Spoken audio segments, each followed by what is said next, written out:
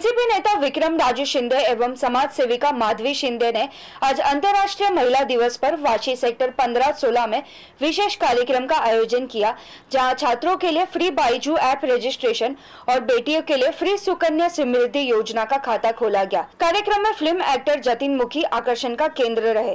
देखे रिपोर्ट। राजू भैया त्यांनी बरेच कार्यक्रम हे जागतिक महिला दिना निमित्त हे कार्यक्रम. यांचं कामकाज म्हणजे अगदी पारदर्शक आहे. अगदी रात्री बारा वाजता गेला तरी आमचे दादा उभे आहेत. माधवी शिंदे ही हळदी कुंकू कार्यक्रम असू द्या किंवा महिलांसाठी विविध उपक्रम असू द्या ना ती म्हणजे सातत्याने राबवत असते.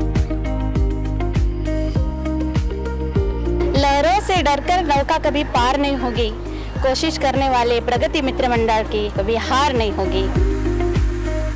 नवी मुंबई के वाशी सेक्टर 15 में अंतर्राष्ट्रीय महिला दिवस पर प्रगति मित्र मंडल और स्माइल फाउंडेशन की मदद से एक विशेष कार्यक्रम का आयोजन किया गया, जहाँ छात्रों के लिए सुकन्या समृद्धि योजना और प्रधानमंत्री जन सुरक्षा योजना तथा बाईजू ऐप का फ्री रजिस्ट्रेशन किया गया। एनसीपी नेता विक्रम उर्फ़ राजू शिंदे एवं समाज सेविका माधवी शिंदे ने बताया की कार्यक्रम को महिलाओं के सशक्तिकरण एवं बेटियों की सुरक्षा और शिक्षा को प्रोत्साहन देने का ज़रिया बताया।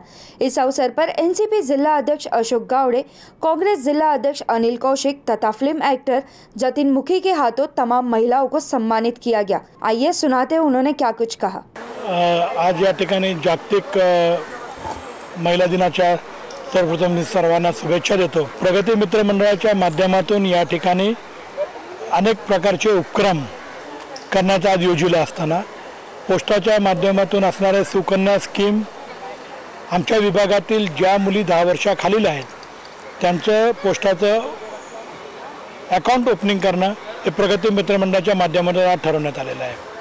त्याचप्रमाणे बायजूज एज्युकेशनल ॲप हे स्माईल फाउंडेशनच्या माध्यमातून आपण अंडर प्रिव्हिलेज ग्रुपच्या जे फॅमिलीज आहेत त्यांच्या मुलांना चौथीपासून ते बारावीपर्यंतच्या मुलांना बायजूज एज्युकेशनल ॲप फ्रीमध्ये देण्याचं उद्देश ठेवण्यात आलेलं आहे.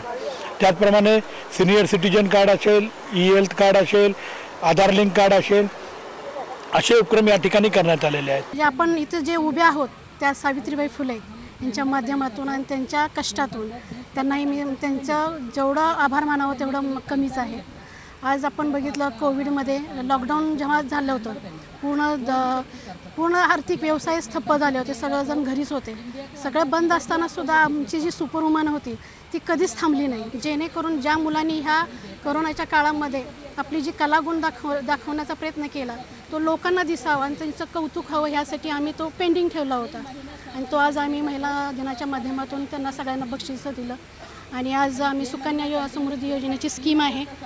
आधार कार्डचं आहे आधार लिंक आहे ज्येष्ठ नागरिकांचं आहे अशा वेगवेगळ्या आम्ही स्कीम इतर राबवल्या आहेत. Bureau report TV one India. Latest updates और ताज़ा तरीन खबरों के लिए टीवी वन इंडिया लाइव को सब्सक्राइब कीजिए और नोटिफिकेशन पाने के लिए बेल आइकॉन को दबाना मत भूलिए।